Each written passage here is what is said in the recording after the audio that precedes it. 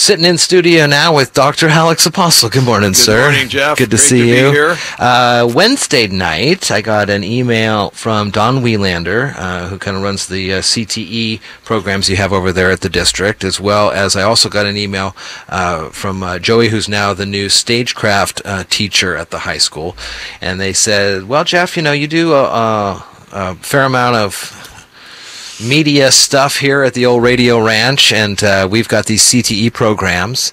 And if you're able, we'd love to have you come by and be able to talk with uh, Joey, uh, as well as uh, Tyler Ramos from the Little Creek. Uh, kind of your guys' are neat niche niche whatever the word is jobs to you know run the radio or have the events and things like that and it keys right in with what CTE does for the stagecraft and that was a wide uh, group of folks from all different aspects of the community were there Wednesday night. Yeah, this is a this is a major thing that you guys are doing. Yeah, it's it was a, a kickoff and a, an opportunity to bring our business and community leaders together to hear a little bit about the direction that our school district is going uh, in relation to career connected learning. Uh, we had a good crowd.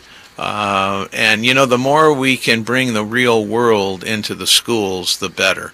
And people like yourself uh, interacting uh, with kids and our school district, it, it's so important.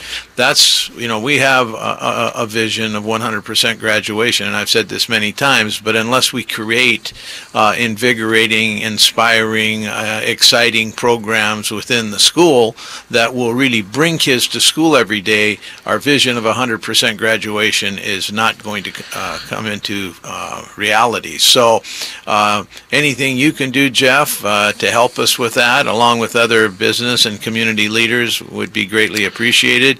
But you know, the the school district is moving forward. We've established the Health Science Academy. We have the ninth grade uh, academy, which uh, we have some work to do with that th- this year, throughout the year. But we're also going to be launching three additional academies uh, in in the fall. So.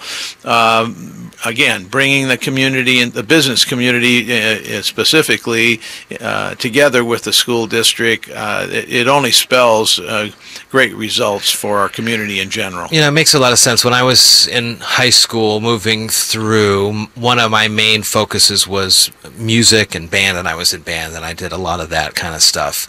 And so I would go to school play music, to be in the bands. And I knew that if the rest of the grades weren't kept up, either because of school policy or my parents' policy that says if you listen, if you're not going to do good in school, we're not going to let you do uh, marching band or whatever, this and that, the other thing. So you go to school, and obviously there are uh, standards and specific classes you have to take to get through graduation, but to have that ability to kind of tailor to the wants and needs of the student to, to feel like there's they're getting up in the morning. They're going to go do something that down the line is uh, beneficial to them and beneficial to their future. Right. We were talking last night at this health event. I was at the Alderbrook, and one of the one of the things that people were talking about, looking at data and this and that and the other, is uh, some perhaps higher numbers of uh, written self-reported levels of depression in 10th graders. And we're like well what's the deal in 10th grade? And i says well you're almost done with school. You, you're wondering what's next for you. You're looking at the, what you're doing in, in school and, and how it may or may not translate.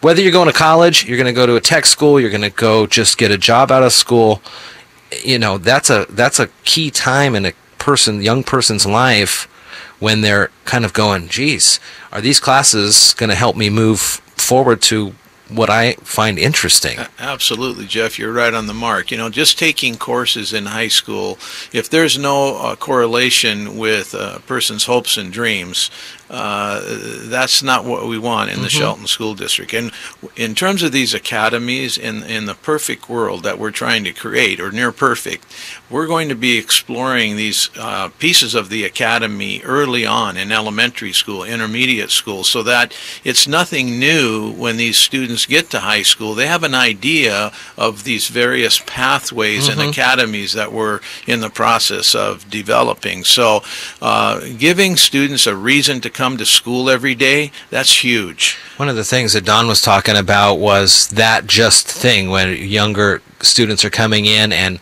working on the line in the in the in the great uh, culinary uh, program you have, or doing uh, standing next to the folks that they're doing the welding programs. You know, I I took note when he said we have uh, so many uh, females that are in these classes now that are traditionally male uh, dominated programs like welding for example. But if you have these kids come in at in the elementary program and they see people welding and they find an interest by the time they get to high school it's not even like oh well that's a man's job or that's a no you say here we're going to i want to do that and we're doing that. All those kind of barriers have been eliminated. Well, making school real and giving students uh, hope in terms of the world of work, uh, I believe, is the surest way to attain 100% graduation.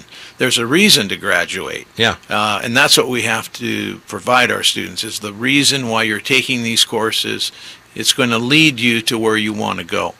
So uh, it, it's a huge task. It's not easy, but uh, we feel very confident in the direction that we're going. Everything is not perfect right now.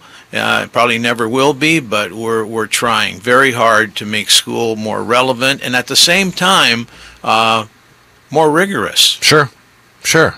And I think if you push the kids in a in things that they are interested in, they'll rise to those kind of metrics that you're looking for. Absolutely. You know, if they enjoy uh, geography, for example, and you start quizzing them hard on maps and cartography and this and that, they're going to go, "Well, I enjoy this. I'm going to work hard on this."